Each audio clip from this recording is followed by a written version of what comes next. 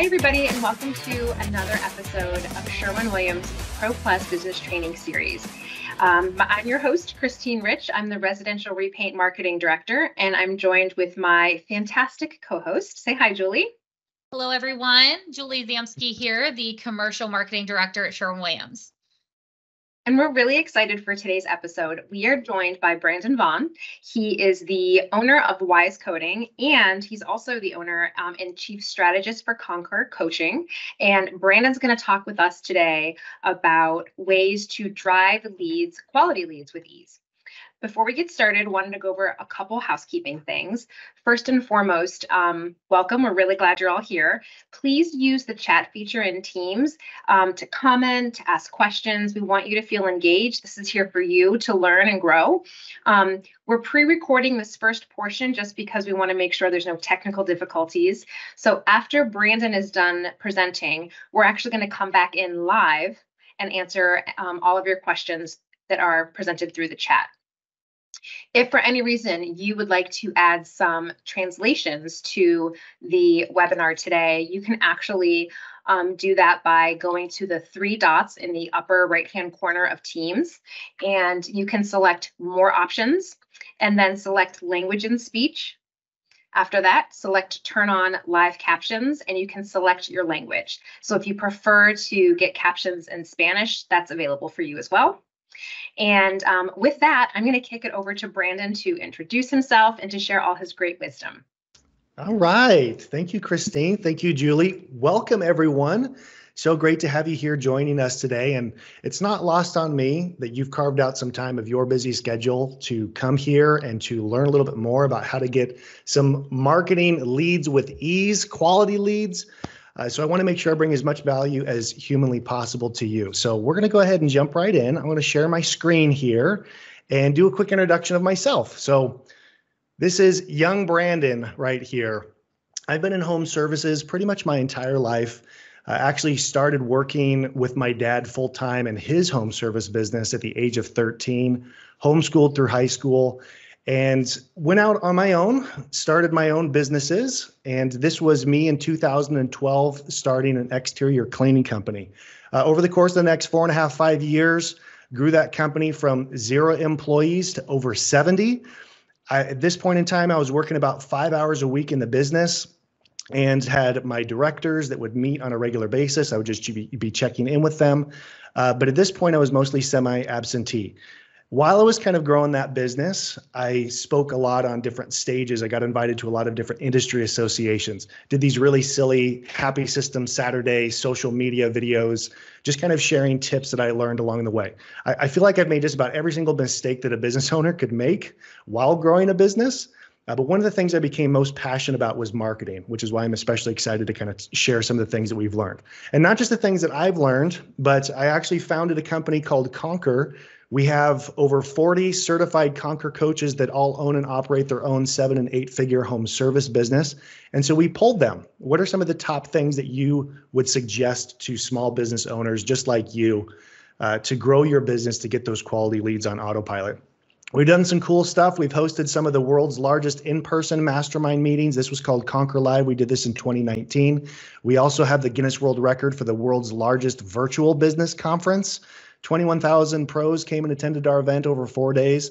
Uh, but I still also am a home service business owner as well. As Christine mentioned with Wise Coatings, I actually launched that business with a YouTube channel documenting 16 episodes, building that business from zero to $100,000 a month in four months.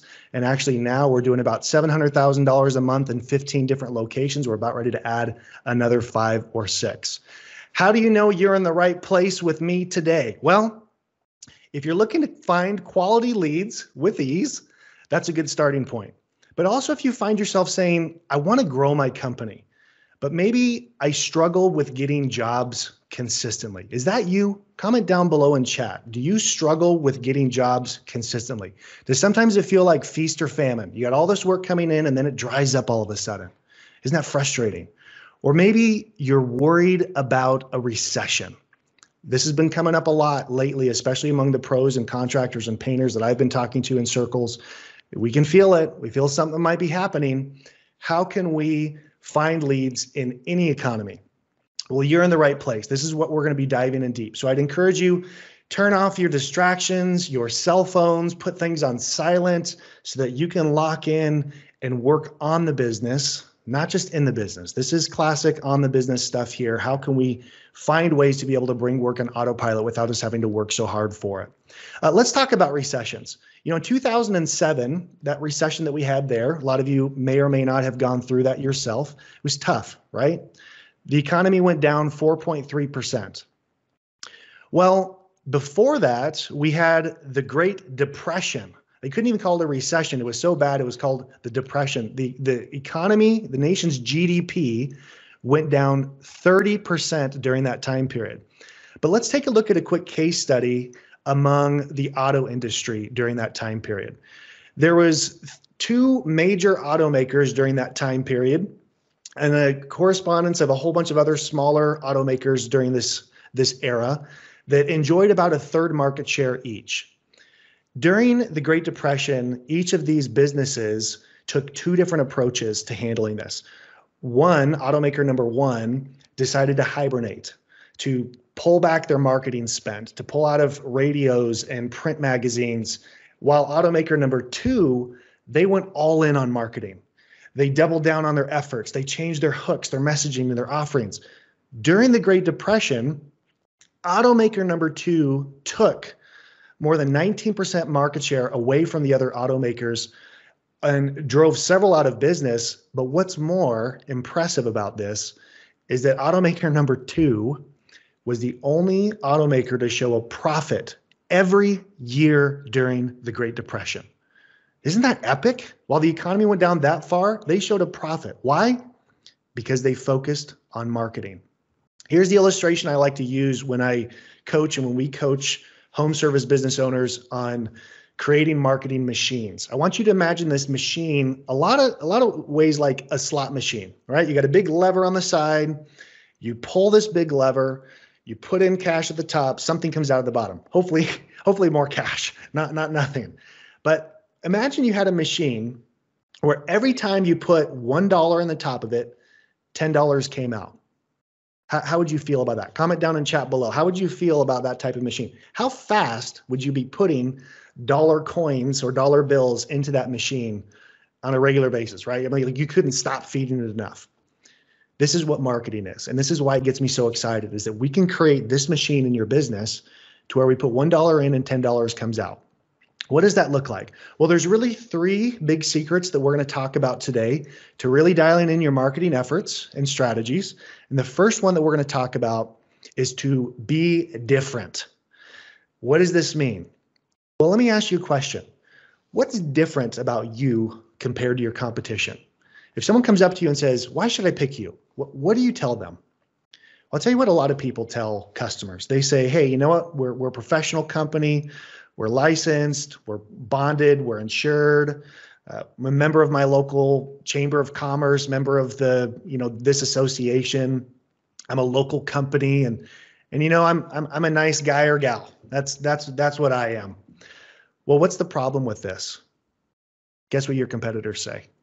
They say all the exact same stuff. And so when a consumer is comparing us, it feels like an apples to apples comparison. So when they get your quote, and let's say it's $3,700, and your competitor comes in with $2,200, because you look so similar, they will immediately go to price. So in these scenarios, what's going to happen most of the time when we bid against these lower bidders? We're going to lose, right? Now, if we redo this and we focus instead on other aspects, let's say we focus on technology. In our company, we use an AI visualizer tool to actually show a customer what their new floor is going to look like. We focus on community, investing into our local communities as well as contributing to charity organizations. We actually adopt a baby elephant in the name of our customers for every floor that we do. We celebrate National Breast Cancer Awareness Month in a lot of different ways, and we get all of our technicians on board. We also are heavily involved with our community. What about eco-friendly? All of our products are zero VOCs. That's what we've decided and selected with our business, and we want to make sure that we're eco-friendly and we're and we're good stewards of our environment. Being an instructor, you know, one of the reasons you saw some of those photos, a lot of the reasons why I really focused on being an instructor was we would use those pictures inside of our marketing materials to say, hey, our founder actually teaches the industry. I encourage you all to do the same. Being certified. There's certification processes through amazing organizations like the Painting Contractors Association. What does your branding look like? Does that make you look different? Are you verified? Do you use third party companies out there that verify criminal background screens and those license insurance bonding? When a consumer looks at two different companies that are like this, they're automatically going to assume that you have all those things on the right side so this is going to be the winning side. They don't know how to compare the two of you because you're so different than your competitors. So when your bids come in, you're going to win. You're going to win more often than you lose because of it. And we know this is true because when we take a look at consumers, we can see in all these different other industries, consumers value experience. They value perceived value more than just actual tangible value of price. When someone says that your price isn't good enough, what they're saying is they don't perceive that your value is high enough to justify that price. I want to share a couple quick case examples of this. Over here on the left, we have Morton Steakhouse. When they bring the steaks out, maybe you've been to steakhouse like this, you know, the, the, the waiter is sitting there talking about every single one of the, the different cuts of steak. They're educating you in the process. And then they bring out that Wagyu beef, right? They talk about how it's been massaged in butter and and you know milk and barley and it's been massaged its entire life and they build up all of this value this perceived value and then of course you have individuals like Salt Bae over here that has gold encrusted tomahawk steaks that sell for $800 and you've probably seen some of those videos of those people that will come in and they have this huge experience. When you order this thousand dollar steak it's more than just a steak. It's an experience. It comes out with all this fanfare to where everyone's taking out their phones and they're recording it. Even with wines they've taken cheap wines and done double blind taste studies. And just the act of increasing telling consumers that the price is four times more expensive than it actually is consumers enjoy it more they value experience. So when you think about differentiators and how to make you different from your competitors, think about what your customer experience is like, their journey in working with you in your business. I want to share a couple quick examples on this. And by the way, if you have some experiences that you use with your customers, comment down below. Let's share. Let's get everyone talking, sharing great ideas that other people can get and, and, and put in place in your business. So some of the things that we do is we utilize a company called GoDunzo, Dunzo.com or GoDunzo.com, and they design all of our postcards. We have everything automated to where the second that we give an estimate to a customer, they're getting postcards in the mail with their name on them. When we're finished with the customer, they're getting a thank you card with a $100 gift card to give to one of their neighbors or, or somebody else, another referral, a place to scan the QR code. We give them brownies with their names printed on them. All this happens automatically. So that customer experience that they get when they get brownies and a thank you card at the end of their job, they take pictures of it, they put it on social media. No one else does this in our area. And it makes a huge difference on just us being different as well. So as we have each one of these different stages of our, our estimate tracking process, we're able to automate all of these processes to where they just happen without us having to think about it, which creates that ultimate customer experience. We even roll out red carpet for our customers when we show them their project. We have these signs. By the way, this is one of the cheapest, best investments you could make Go get a sign printed up, have each one of your customers stand in front of their project holding this sign. They work phenomenally well for Facebook ads, all different kinds of areas. People love to see faces. It's fantastic social proof. It's such an amazing proof and testament of your experience when a customer is willing to say that they're 100% satisfied. So be different. Secret number one. Secret number two math is the path. Now, one of the things I'm going to kind of dive into that is so comforting for me is that growing a service business is as easy as math and, and not complicated math, but third grade math. I'm talking multiplication and division. That's it, I promise you. Let's take a look at a couple KPIs. And KPI stands for Key Performance Indicator.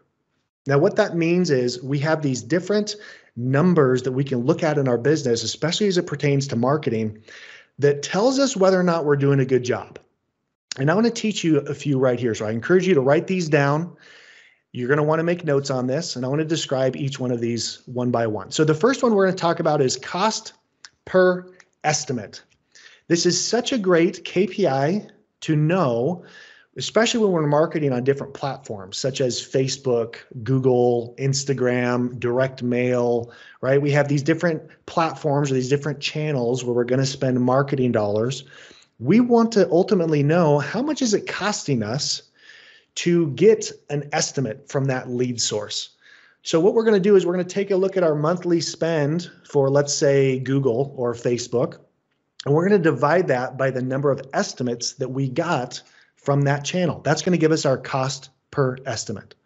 Another number that we're going to be tracking is our closing ratio. If we get 100 estimates and we close 50 jobs, our closing ratio is 50%. Next, we're going to take a look at our average jobs. How big is our average job size? We're going to take a look at how many jobs we have in a period. We're going to divide it up by that revenue and get that good average job. That one should make, you know, pretty pretty good sense on that one.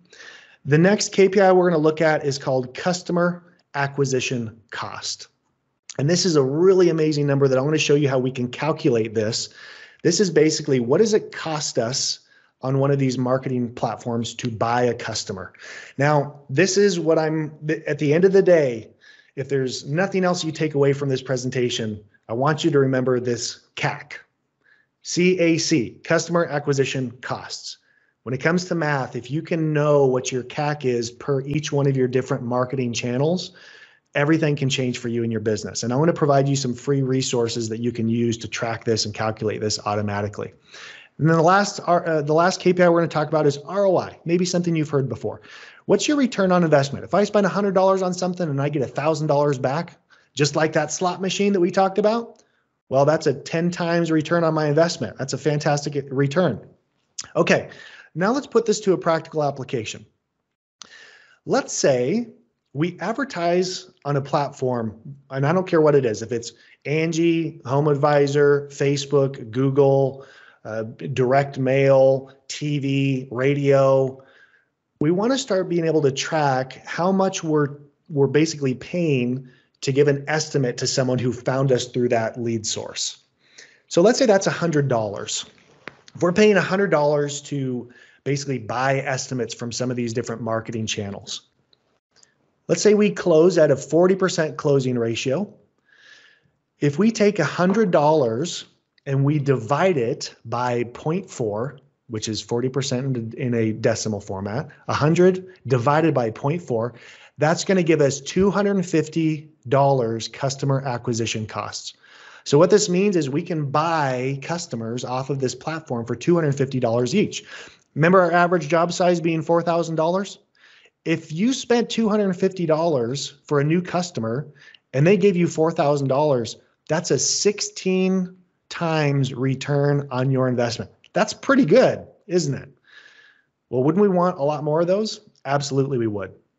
This is what I mean by math is the path it's so easy to reverse engineer whatever your goals are in your business. If you want to do a million dollars this year, we can take our average job size, we can divide that, and we could say, hey, you know what? That that's only 250 jobs. That's all we got to do in a given year to do a million dollars. Maybe your average job size is higher, maybe it's lower. You can adjust these numbers on your own. I know I know you're taking notes and kind of going through this as we go along. But if we take a look at those jobs and we close 40% of the customers that we give estimates to, well, that's only 625 estimates that we have to give. So then it just becomes an exercise of going out and buying 625 estimates to be able to hit that million. So if we keep looking at this and expanding this example further and further, 250 jobs that we have to get to get that million, we pay $250 customer acquisition costs. We just have to spend $62,000, 500 for the year in order to get that million dollars. That's just a little over 6%. And it doesn't matter if it's 1 million or 10 million. The numbers all work out. So here's the tracking sheet that I wanted to kind of have you work with and massage and enter in your own information. There's a spot here for you to enter in your monthly spends, how many leads you get from certain platforms, how many estimates you give, how many jobs, how much revenue you generated.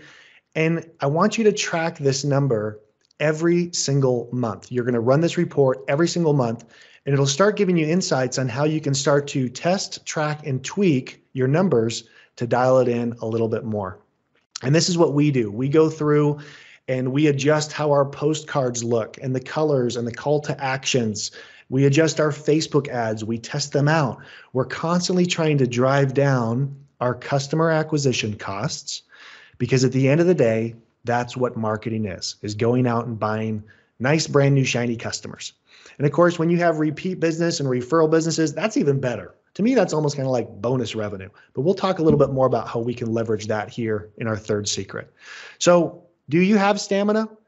Of course you do. You're a business owner, you're an entrepreneur. You decided you would jump off a cliff and, and build the plane on the way down.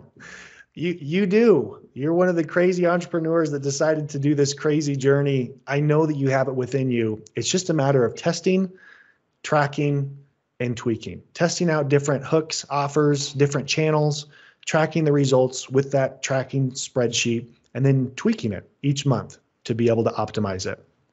Our third secret we're going to talk about is BOG marketing or boots on the ground marketing. Now, what does that mean? Well, this is marketing that doesn't necessarily cost a whole lot of money, but it costs a little bit more of our time and a little bit more of our intentional effort. This is a fantastic way to bring work into our business without spending a lot of dollars. This means going and knocking on doors. We've all had to probably do it at one point in our life. Cold calling, flyering, canvassing, relationship building. All of these things are critical to be able to grow a business, and they're a good resource, a good marketing avenue to be able to keep your marketing expenses lower and kind of optimize those marketing expenses. So, when you start looking at some of these marketing avenues, cold calling, flyering, canvassing, I want to focus on one that's relationship building. Think about all the other businesses that are complementary to yours garage floor coatings, perhaps, garage door installs, siding companies, roofing companies, window companies, exteriors, individuals that might do pressure washing and cleaning, even carpet cleaners, plumbers, electricians, HVAC businesses, landscapers, pest control. All these other home service businesses, they have a similar customer data set as you. If someone's paying to get painting, they're probably paying to get their gutters cleaned, their roof cleaned, their carpets cleaned. Well, are we reaching out to other businesses in our area to start building up relationships and maybe even make our own little networking group? This is one of the best ROI marketing pieces that I've ever created. We created these called Best of Portland. We made it up, by the way.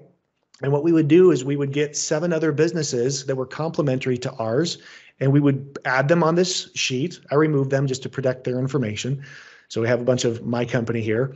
But we would go ahead and create these, and we'd have we print out 100,000 of these, divide them up by eight, and each one of the businesses on every service call that they would do, they would hand deliver it to a customer and say, Hey, we're part of the Best of Portland list. Wanted to let you know, hey, if you need a, a painter, if you need a cleaner, an HVAC, and we would give these out hand delivered and it was one of the best return on investments we've ever had because it's literally just the cost of printing these out. You're hand delivering these to, to customers at the end of each service. Uh, amazing platform so uh, another low hanging fruit when it comes to boots on the ground marketing is making sure that you're leveraging your existing customers this is where your lowest hanging fruit is when it comes to customers sending them email blasts sending them text blasts. You can even do something called a ringless voicemail where you can drop a pre-recorded voicemail into all of your customers database or or kind of identify which ones purchased from you a year ago, 2 years ago and just check in and see if they need any other spaces taken care of. Sending them mail, flyers, postcards, going out and putting yard signs out, putting door hangers out to all of the neighbors of every single one of your jobs that you do. Don't forget about your existing customers and know that there's gold in those hills. You just got to go and you have to work it and you have to mine it and extract it out. And then lastly, what we're going to talk about when it comes to boots on the ground is leveraging memberships. Some of the best return on investments we've had has been joining our local chamber of commerce. They have weekly meetings. Most chambers have weekly meetings. Attend them. Go show up to them. Don't just rent the logo of associations. Go and network and talk to the individuals that are there and tell them about your company and learn what about their company and build up those relationships. BNI is another one that's another organization that you may or may not be familiar with. Uh, it's a pay to play type of organization, very similar to Chamber of Commerce, but you can be a part of a small little networking group that is required to attend meetings and network with each other. Even going and belonging to some of your local commercial associations or multifamily associations. The National Apartment Association has chapters all over the United States and you can join those chapters and you can go to some of their trade shows and we'll have 1200 to 1600 property managers walking around the trade show floor and we've attended some of these multifamily trade shows and have left with about 70 estimate requests and about 450 leads and there's a, a whole hour long presentation I could talk to just specifically about multifamily and commercial associations. But check out organizations like IREM, BOMA, CAI, all these associations you can attend, go to these different regular network meetings, get involved with them, and start building those relationships with those individuals. Uh, same thing with trade associations, other painting organizations. Get involved with your local chapter of PCA and network with others. All right, so I know we've covered a lot. I've gone through this quickly. I wanted to be able to give as much information I could to you in a shorter period of time, but I have a question for you will you execute on what you've learned?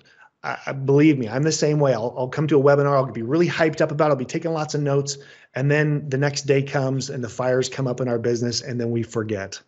I want to encourage you go onto your calendar right now and block out some times on your calendar for this week or next week when you're going to actually execute and get this done. Don't lie to yourself. Don't lack in execution. There's been studies done by the American Society of Training Development where individuals are 40 to 95% more likely to achieve your goals just by writing them down, committing to someone else that you're going to do them, and then actually having that person hold you accountable with a deadline and a timeline. So if you want to execute and get these things done, I highly encourage you to have someone hold you accountable to getting this done. By the way, this is something that we do often in our Conquer programs. Uh, we have hundreds, thousands of Conquer members that are all working on their business. It's exclusively for home service businesses. If you're interested in learning more, I'd encourage you to check out what we have going on inside of our community. We offer lots of different coaching programs and accountability programs. If you're looking for that sense of community where you can talk to about some of these ideas, uh, I'd encourage you to check it out. Our average Conqueror grows 77% year over year. Here's, of course, a couple testimonials if you want to take a look at that.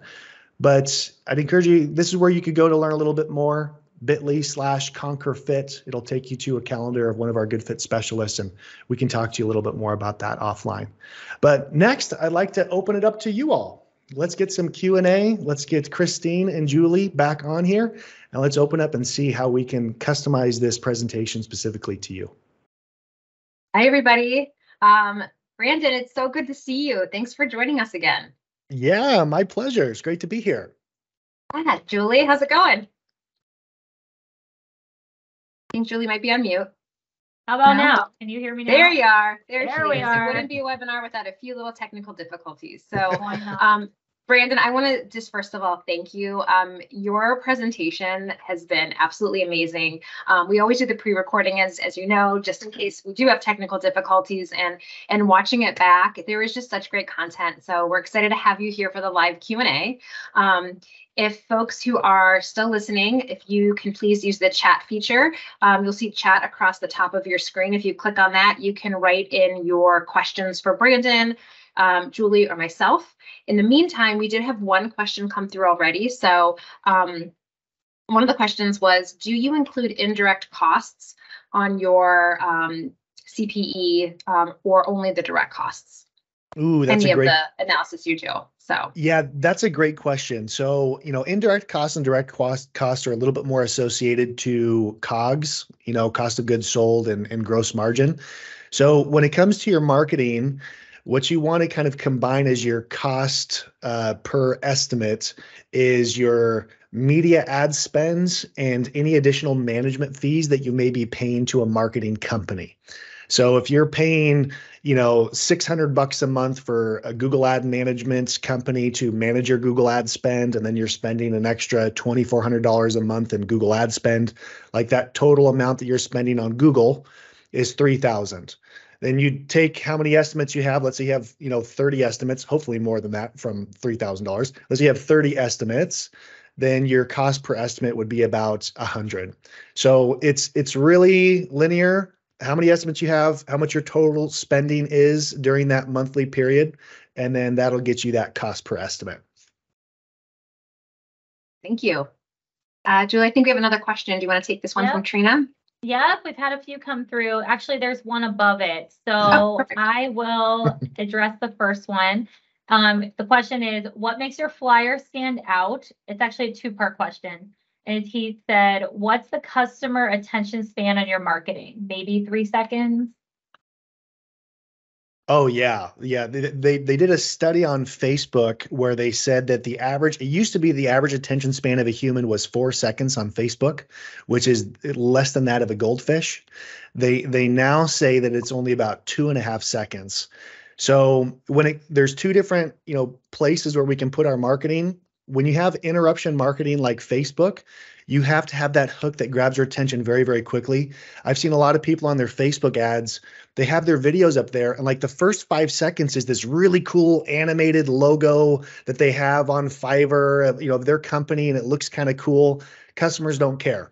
Like you need to like grab their attention really quickly. So that hook that you have in the digital media side has to uh, my my formula for it is call out your your target audience first by name whether in captions or or directly so like West Linn homeowners. If you're looking for a painting, you know, contractor, here's why. You know, it's like it's quick, it's to the point, it kind of grabs their attention because they hear themselves. So that's for like uh, digital media, and then when it comes to print media, your attention span, of course, is is still very very short because if if they're getting postcards in the mail, they're kind of doing this as their filter, you know, scanning through their cards and then putting it into their sorting bin, also known as the garbage can, and they're going through it real fast. So you have to have some kind of a hook or image that really grabs their attention. And your return on your investment is going to drastically change depending on how quickly you capture their attention. You have a real clear call to action and a good offer that makes them get FOMO, fear of missing out. Like crap, if I don't if I don't take care of this right now, then I'm going to totally miss out on this. So those elements on your marketing campaigns are are really important to get a good response. That's that's great advice, Brandon. Um, now we're going to go to Trina's question. So, how do folks get the diagrams that you showed? So by diagrams, um, which one specifically are you talking about? Because we have uh, one of those template files that has uh, those, and you know, Christine, you'd have to kind of tell me if there's a way that we can kind of get those out to people. Um, Yeah. You know, as far as that file itself goes, but certainly willing to share, you know, anything that I've shared on on this presentation with you guys. Are you able to? I don't know if you can now. If not, we'll make sure that we find a way to get it to everybody here. Um, if you're able to link it in the chat. If not, um, and Julie and I talked about this in the chat before, we always put every single webinar episode on Sherwin Williams um, YouTube channel. And so if we can't link it here, we will definitely link it in the show notes. It usually takes a couple of days to come through. So um, we will make sure we get those to everybody. Um, and um, we'll even see if we can just push them out via email too. So uh, great question, Trina. And Yeah, then we have a good. question. Yeah, from Jess. Awesome. So another question came through, um, and it's what do you recommend for follow-up techniques? I have a few quotes sent out, and so far, no response. Ooh, I love this. This is an awesome question. so I, I subscribe to something called give, give, give, ask. Uh, Gary Vee calls it jab, jab, jab, right hook. And so the you, know my formula is I want to give value to customers three times more than I'm asking them for something. So in my follow-up sequences, if I give an estimate to someone, the very next follow-up email and text blast that I'll do will be, uh, hey, Christine, I forgot to give this to you while I was at your house yesterday. This is our best of, or I'm sorry, this is our home maintenance checklist that we give all of our home our, our clients. It has a list of all the different maintenance items you should do on your home. It's a pure value add, and I don't ask anything at that point. I just like here, here this is. I just forgot to give this to you. And then the next follow up sequence I would do will be like, hey, I saw this really cool article on HGTV talking about garage organization tips, and it made me think of you. And so I want to do this. Like, I want to compel my customers to reply back, wow, thank you. If you follow, if your follow up sequences are like, hey, have you decided yet? Hey, do you want to buy yet? Hey, um, you know, just checking to see if you're still interested. I'm just following up. Like, that's some of the worst follow ups you, you can possibly do. You want to make sure that you're engaging them in a question and never, ever, ever have your follow up say, like, if there's anything you need, just let me know. Because that call to action isn't strong enough where someone's going to feel compelled to reply back. So I like to end all of my follow ups with a direct question where it feels uncomfortable not to not to you know to to to get an answer back like the client will be like putting their fingers down like i must reply to this email because you know it's it, it, feels weird if you don't it feels like you're you know someone asks you a question you're like rude on the street and you don't answer them so uh, make sure that you give more value than you ask and and and lastly don't ever stop so, like with Dunzo, one of the things that they've built out, by the way, they built all those sequences for us. One of the things that uh, we do is we also put them into a 12 month nurture sequence. So, after we hammer them a whole bunch of times, there's logic that if they've answered, it stops the automations. Otherwise, it just keeps going and going and going. And we've had people reply six months later, like, man, I'm so glad that you reached out to me. We just got busy. I definitely want to get this done. And, you know, what would happen if you didn't? You know, maybe they forgot and then maybe they go and just like, I can't remember the name of that company. And then they go online and they find someone else. So just never stop following up either. I think that's such great advice, Brandon. And, and, and two kind of real world examples. Someone had asked me about, um, a company and I couldn't. and there's like, I can't find the sales rep's name. Do you have it? I looked through every presentation this company sent me two years prior, and there was not one human's name on it and no way to contact them. I thought, mm. man, that is a miss for them because now I, I don't have the contact. So like, you know, personalizing, putting your name and like simple things like that are so important. I will also say another great tip for following up is in the Sherwin Williams Pro Plus app, we have something called a Pro Color Toolkit. This is my favorite tip. Um, homeowners' number one pain point is choosing color. It, it's what Mm. it's what stalls jobs. It's what causes frustration. If you have an estimate out there and you're waiting to hear back from a homeowner, um, to Brandon's point, instead of saying, "Hey, are you ready to start that job?" you can send them within the Pro Color Toolkit on Sherwin Williams um, Pro Plus app one of three text messages that are already written for you. Literally, all you have to do is hit send. You can say, I was thinking about you, not sure if you're stuck on color. Here are the top 50 colors that are most popular with Sherwin Williams if you want to take a look. Um, did you know Sherwin Williams has a free virtual color consultation? Um, if you're interested or kind of stuck, here's another great resource for you. And then the third one is a resource for them to order peel and stick or chips online. So again, it's not a hard sell. It's just a, hey, I was thinking of you. I know color can be tricky. Here's some resources in case you need help. So I think that's another great tip that again doesn't cost anything but your time. So good, Christine. That's awesome. Be, y'all better wrote that down. That's gold right there. There it is. Okay. Oh, we have a really juicy question from Mike. We've I feel like got, yeah, quite a few coming through. All Okay, right, oh, let's go.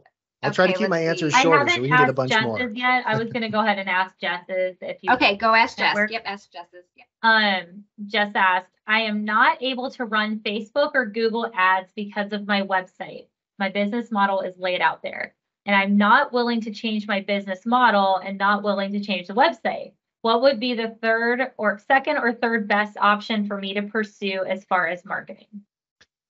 Well, to get somewhere you've never been means doing things you've never done. So the first thing I want to encourage you is maybe the answer is doing something that feels uncomfortable, but it actually is the right thing for your business to do.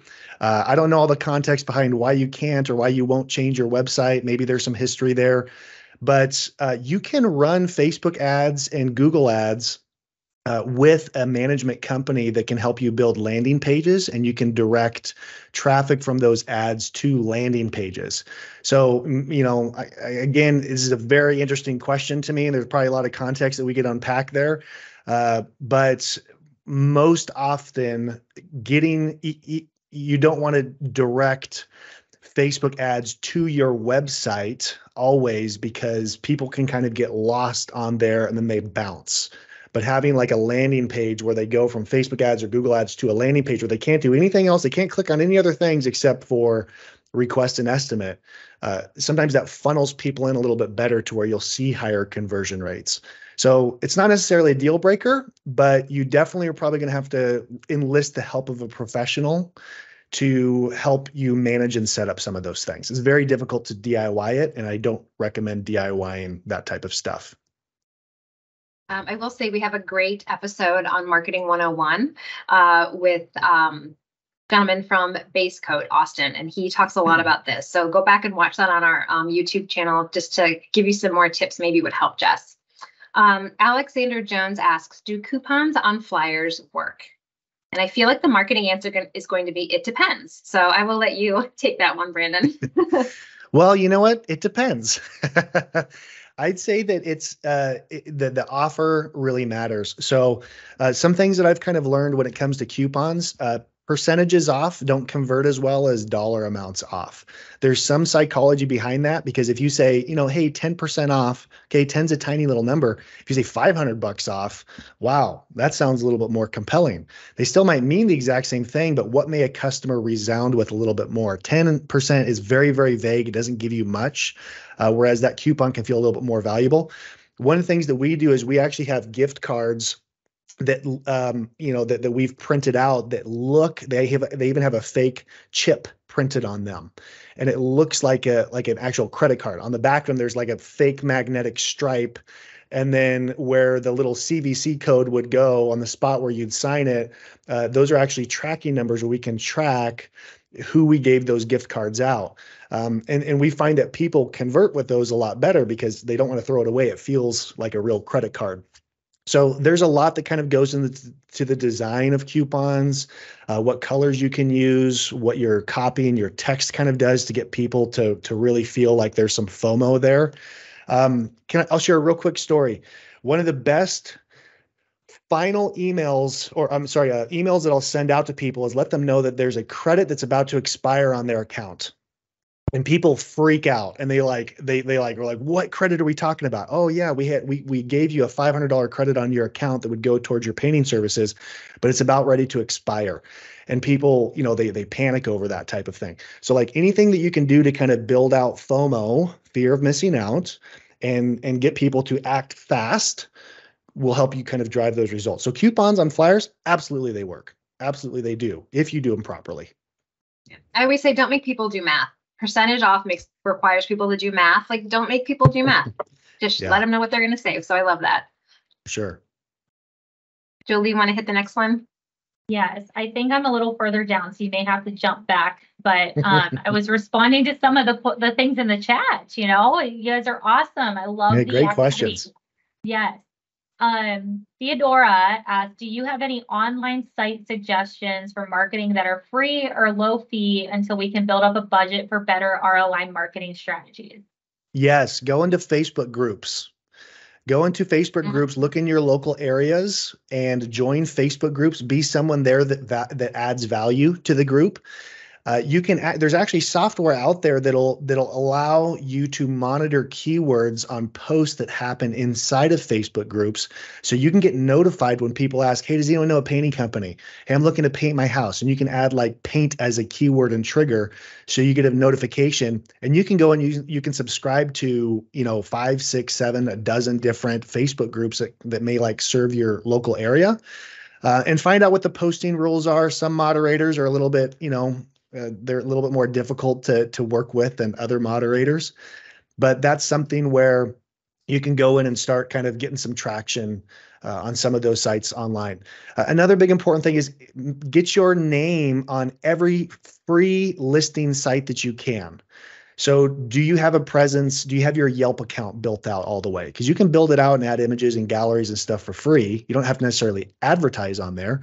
Um, make sure that your customers are leaving you five star reviews, not only on Google, but ask your customers, hey, do you, do you have a Yelp account? Would you mind going and leaving us a Yelp review? You know, just get your bump up your reviews on different platforms. You know, that kind of helps you spread across. And there's really cool little platforms out there that'll do, they're called listing aggregator uh, sites. And what they'll do is they'll post your business listings on like 500 different business listings, and you only pay a few hundred bucks to get that done. Uh, so there's there's different tips and tricks on the free side for media. Most of it kind of involves getting into some communities online where people are talking and chatting, and just making yourself the expert all things home services. That's such great advice. Um, so we have, I'm going to go back to Mike because we did skip over him. Um, he says, My first ad goes out next week. The cost of the one region I chose is $539. Uh oh, you might have to do math, Brandon. The amount of um, customers that receive it is 35,000. I'm waiting to see how it pays off before I go into another region. My math tells me that if only 1% of readers are looking for painters, that's a 350 estimates. The magazine is called Clipper Magazine. My question Oh. is, with these type of numbers, am I correct in thinking it should pay off? Also, my different, better than the rest, uh, collar grab is owner on every job site to give your projects that special special attention um, to detail that they deserve. Okay, so um, I'll provide two points of feedback. One percent uh, conversion is amazing. It would be like, wow, you just hit the jackpot if you spent five hundred and some bucks and you got three hundred and fifty estimates. Totally not realistic of an expectation. Um, I would be thrilled, and I'm not even exaggerating with this. I would be thrilled if I got like ten to twenty estimates from this. So I, I think you should kind of adjust your expectations in that area. You are not going to get 350. I, I'd be willing to bet you how much you paid on that if you did get 350. You're not getting anywhere close. It'll be a fraction of a percent. Clipper magazine also sometimes can tend to attract in a little bit lower end of a demographic as opposed to a little more middle end, high end. So you might get smaller tickets on some of your jobs. You might notice that your closing ratio is way worse with Clipper than with some other home mags that might be a little bit more high end, a little you know, more, uh, you know, specific in neighborhoods. And then the second thing that I'd say is, you know, the the owner operator, the owner comes up and they and they do that. I'll just give you a little side extra bonus coaching. Let's try to find you some different differentiators. Because if you want to scale your company and grow, you will be the bottleneck to how many estimates you can fit in and kind of do yourself personally. And I think that there's some better, different hooks that you can use as your competitive differentiator that's not dependent on you. Because if you get sick, if something happens to you personally, if you go on vacation, your competitive differentiator goes out the, the window. Or when you start growing, you're gonna need to hire a salesperson and that's not gonna, you know, matter anymore. So start proactively thinking about what are some other competitive differentiators that, that homeowners really care about? Because let me also say that homeowners don't always love the fact that it's an owner operator because it can be very difficult to track that owner operator down. And they may have had bad experience in the past with dealing with a solo operator and I can never get him on the phone. He's always running his machine or he's on the road or he's doing this.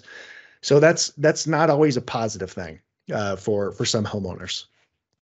Great answer. Answer. Great question. I love you I asking those know. questions. Like, like really, really said, good. the, the activity is great today. Um, so the next one that popped out here, all of uh, out of all of the CRMs out there, why did you pick Gusto?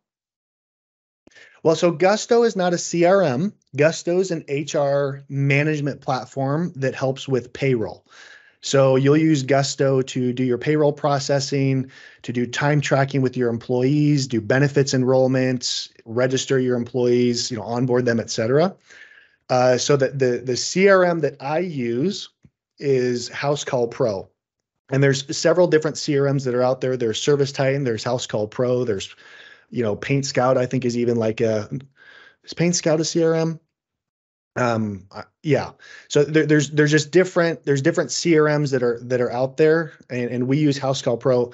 The main reason why I use them is because uh, they're they're pretty mobile friendly. They have 2,000 employees, and they're developing things at a rapid rapid rate. So they're always launching new features. Uh, so the support for it is pretty high. Um, Jess asks, do you think paying lawn sign fines is worth it in areas that don't allow them? or with the fact that you are willing to ignore the bylaw and just pay the fine to turn potential customers in the long run? I don't know if we can answer this right now on the next episode. So we definitely don't want to condone anyone doing anything. Yeah, I'm not, I, against the I law. I will say, don't, don't place any signs in areas where you shouldn't place them. Um, I will say that. Uh, what I do is I ask permission for, for our homeowners if we can, uh, leave them outside. Um, and, and they'll, they'll let us know if there's issues al- along those, uh, lines. So, yeah, I, I don't, don't pay fines, don't do things illegal. We had another one come in from Roy Miller Painting. Where is the best place to advertise for ultra high end clients? Ooh, let's see. Ultra high end. So ask yourself, where do these ultra high end homeowners hang out? What what are they doing for fun?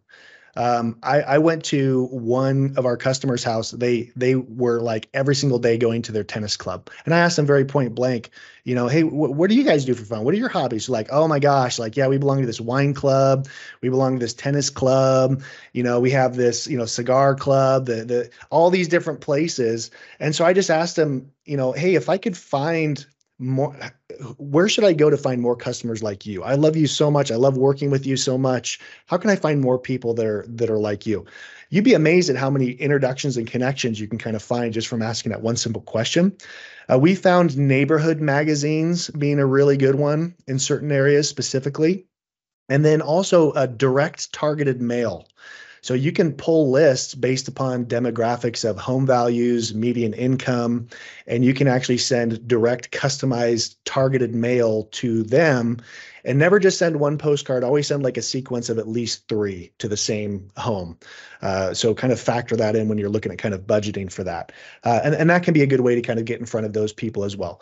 Uh, other methods of targeting they're not as reliable but those ones where you're targeting their addresses specifically are a little bit more reliable Yeah, I would say too, you know, there's not it's very rare that something is a is a quick fix. So I think being consistent and like you said, trying a lot of things and tweaking. Um, there's always the short game and the long game. So what are your thoughts on that question specifically around networking with residential designers, like high-end residential designers? Oh yeah, absolutely, Christine. Good call out.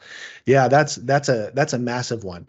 You know, if you if you have homeowners that are going in and they're you know hi- hiring these painting consultants, design consultants to come in, and you can get in with those, they'll they'll have a, a nonstop list, and usually they'll ask for some kind of a kickback or a finder's fee, or you know subcontract you into the price. But if you can build those relationships, the homeowner almost always says yes to to, Yeah. to that type of a that type of relationship. Yeah, I would say tapping into uh, realtors in your area as well. So again, certain realtors tend to uh, list certain price homes, and so tapping and networking with those two, I think, is really important. You know, you talked about community, and I think that those are some other things to think about too. Um, Yeah. Jess just ask, what is a fair finder's fee? Oh, that's a great question. Um, it, it, depends. I'd say that if it, what what we typically do is uh, we'll we'll pay out like, you know, if, if you look at your customer acquisition cost, this is kind of why it's good to find your customer acquisition costs. If you didn't have to pay for the marketing, and maybe you did or you didn't have to pay sales commission on that job because they already teed it up for you and even sold it for you, well, I'd pay a lot higher of a percentage, but it wouldn't exceed my max customer acquisition cost that I'm targeting plus my sales commission that I might pay a salesperson. So that, you know, if I pay a salesperson 10% and then we have a customer acquisition cost, you know, and someone brought me a sold job, I'd pay them that 10%. Uh, but I'm, I'm very cautious at making sure the math still checks out for uh, compared against my marketing efforts. Great point of that's where really knowing your numbers kind of comes in. Absolutely. Yeah, for sure.